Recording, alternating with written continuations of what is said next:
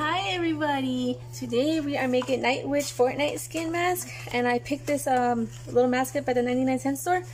Uh, right now is a really good time to get masks because they're just a dollar at the dollar store and at the craft store.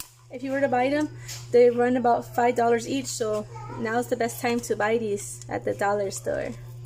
I'm gonna take off all this stuff. I'm gonna have to reshape this one because it's round at the top and I, I don't want the eyes to be hollow or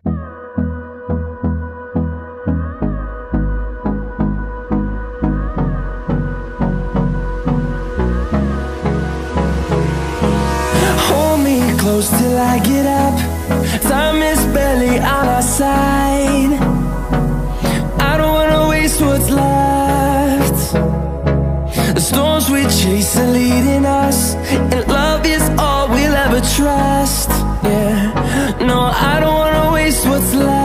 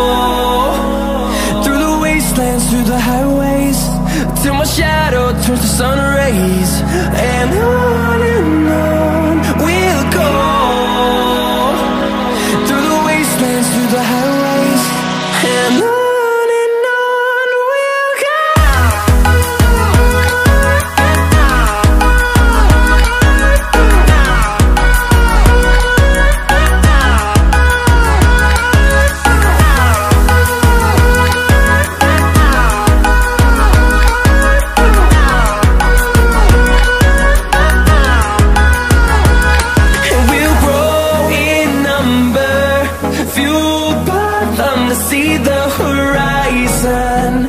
Turn us